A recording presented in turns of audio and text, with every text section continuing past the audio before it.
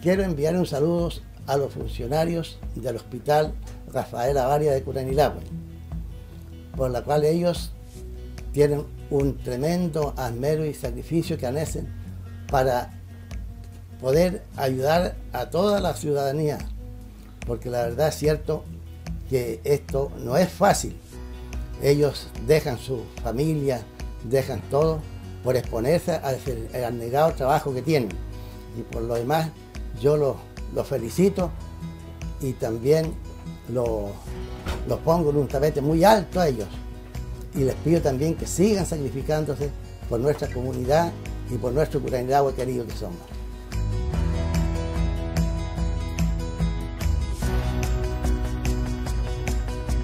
Además también ahora quiero aprovechar en esta ocasión de invitar a la comunidad en general a cuidarse, porque esto no ha terminado, esto tiene para largo todavía, y si nosotros no tenemos que salir de nuestros hogares, no lo hagamos, porque la verdad es cierto que es un tremendo sacrificio estar en los hogares, uno mismo que es adulto mayor, es un sacrificio estar en los hogares, pero hay que hacerlo por la responsabilidad.